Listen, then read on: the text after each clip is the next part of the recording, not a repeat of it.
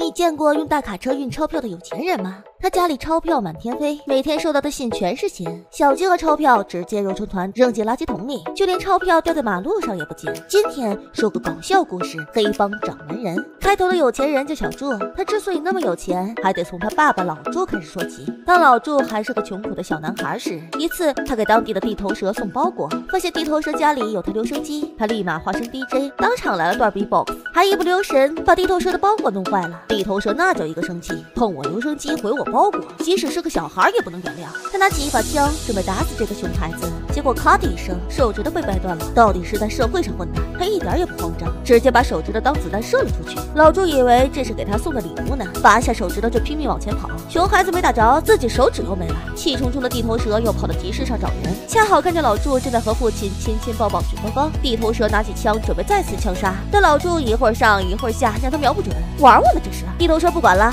直接开枪打死了父亲。妈妈跑了过去，对着儿子就是一顿嘘寒问暖，压根没注意自己老公早被踩扁了。地头蛇赶紧跑过来拉住妈妈，老朱被好心人抱着，母子二人紧握双手。妈妈让老朱赶紧拔下戒指离开，却怎么也拔不动。你干啥呢？等会儿戒指还没拿下呢。地头蛇立马停止了动作，老朱也成功拿下了戒指。那么问题来了，现在该怎么躲过地头蛇的追击呢？要不钻进这里吧？老朱立马猛吸一口气，钻进了驴屁股里。果然，他顺利逃过了地头蛇的追杀，游到了美国，还找了个漂亮姑娘当老婆。转眼就过了十几年，老朱长大了，在一家店铺干着挤橄榄油的工作，老板也抠门，只给他半枚硬币当工钱。家里早就穷得揭不开锅，只能用皮鞋当饭吃。偏偏他还有俩儿子，一个是傻里傻气的大儿子大柱，一个是身患残疾的小儿子小柱。大柱只会跟老鼠玩，而懂事的小柱早早就出来卖花贴补家用。不过会赚钱又有什么用呢？还不是被黑社会抢了。小柱想逃，但他的双腿让他跑得很慢。此时一个姑娘在一旁大喊：“跑快些！”小柱立马就跟打了鸡血似的拼命往前跑，没想到竟把腿部支撑器给跑烂了，而他的腿也越跑越灵活，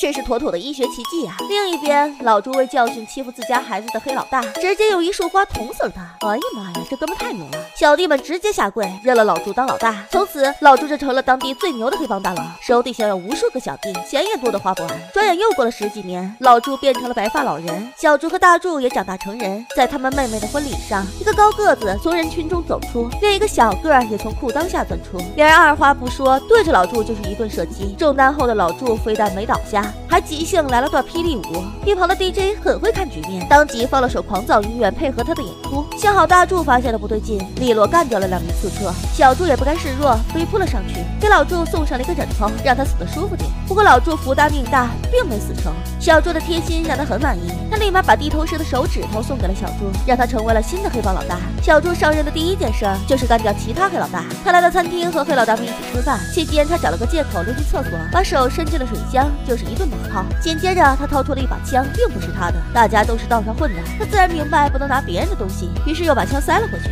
却不小心弄破水管，浑身都湿透了。好不容易把水堵住，他才在另一个坑里找到了自己的手枪，但现在都湿透了，这样出去肯定会被怀疑。于是他打开吹风机，巨大的风力差点没给他吹飞，幸好出来的效果不错。其他几个黑老大看到他漏水的皮鞋，也没怀疑，只当他不小心尿在了自己鞋上。看着敌人松懈，小朱直接开枪。其中一个胖子临死前还不忘吃上一口饭。果然，咱胖子的尊严就是做鬼也要做个饱死鬼。没了其他黑老大的干扰，小朱就和一个赌场老板干起了赌场生意。了不赔钱，他特意把哥哥大柱叫来，让他把出老千的人全干掉。大柱也不含糊，上去就把人给滋晕了。傻子，你滋错人了，那没关系，把人全给滋晕不就行了吗？我就不信没有滋对的。楼上的小朱被气疯了，还是他太年轻，竟然相信自己的傻子哥哥。不过他非常有经商头脑，为了赚钱，他把两盆剩菜当一盆新菜卖给客人，还给酒里兑水，就连泳池也得把水抽干，让客人干游泳。很快，靠着他优秀的经商头脑，让黑帮又多了几个仓库的钱。